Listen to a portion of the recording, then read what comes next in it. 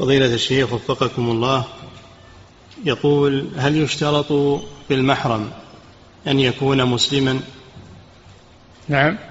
هل يشترط في المحرم أن يكون مسلما؟ أن يكون وليا للمرأة والكافر لا ولاية له على المسلمة. نعم.